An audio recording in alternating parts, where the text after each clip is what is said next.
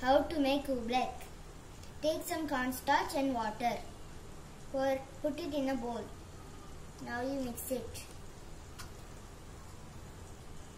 Mix it nicely.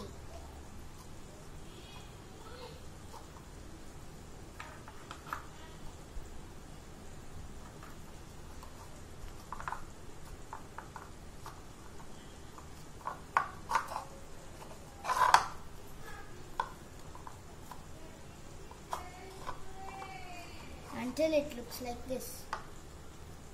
Now what it does is, it's a solid and a liquid.